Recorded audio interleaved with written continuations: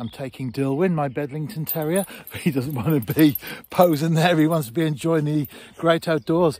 I'm taking him for a very late walk over Cotwall End Nature Reserve, which is just seconds away from where we live.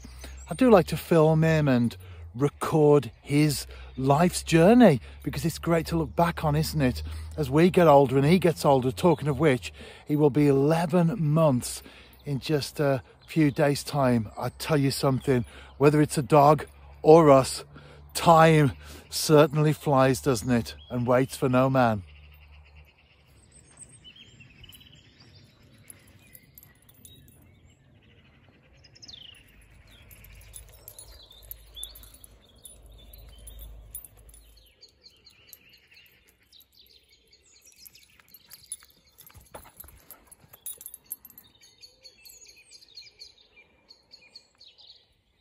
He likes it on this grass bit actually because there are rabbits and he's just been continually going around with his nose to the ground. If you want to follow his adventures on my website, there's a category called Dilwyn's Diary.